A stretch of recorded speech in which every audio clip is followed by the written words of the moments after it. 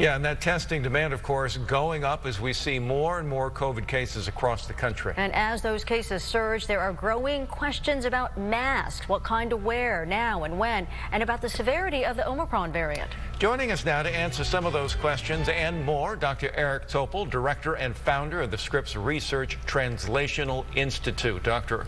Topol, great to see you again. Thanks for joining us.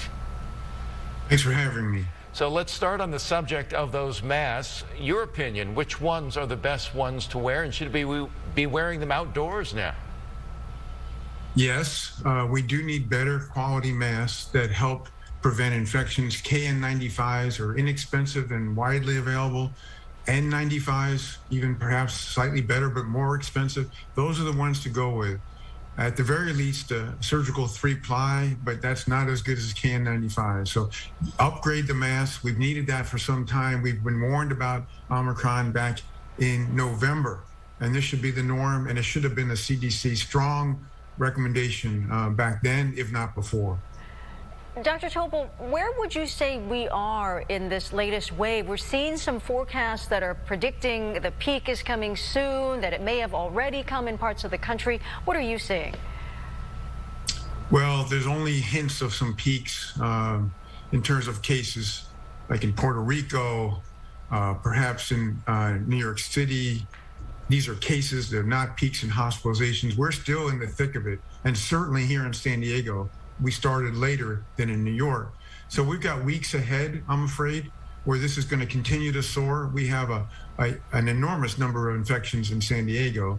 It's just going to increase. Hopefully, as we've seen in other countries, there'll be a sharp descent. But when that starts, it's projected perhaps the next couple few weeks uh, is not entirely clear.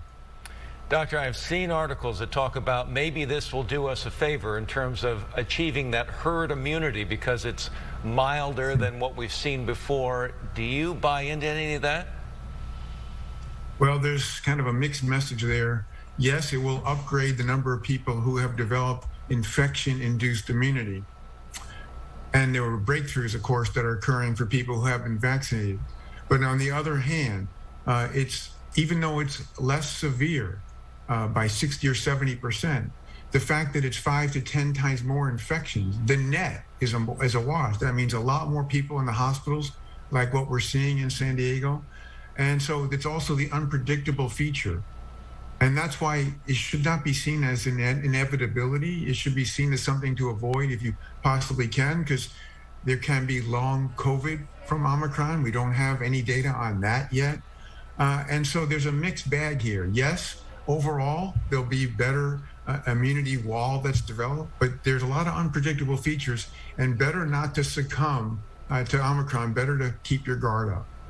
Knowing what we know now, Dr. Topol, what are you advising people to do in terms of behavior going forward? People who are vaccinated, for example, should they be wearing masks outside?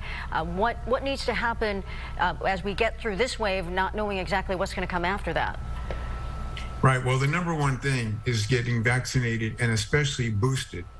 The most important thing that people aren't aware of generally is that if you get the third shot, the protection against severe disease with Omicron is about 90%. That is 90% reduction of hospitalization, which is extraordinary. But if you don't get the third shot, it's only 50%. So that's the biggest thing you can do right now. Yes, the, the masks uh, wearing them outdoors might help a bit. Sure, we don't really know about Omicron and outdoor transmission. But the number one thing is the vaccination and the boosting, which we are really short on throughout the U.S., throughout California, and also in San Diego. And we're just curious, given your inside perspective, is there anything that's been on your mind lately about what's going on with this virus and where we're headed?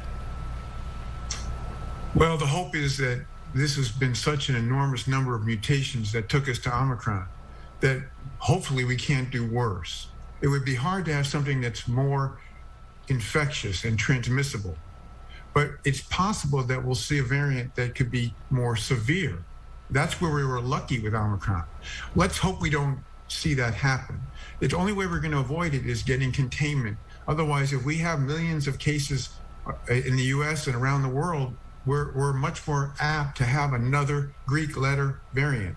So it's hard to know at this point. let's just hope that we stay away from that problem.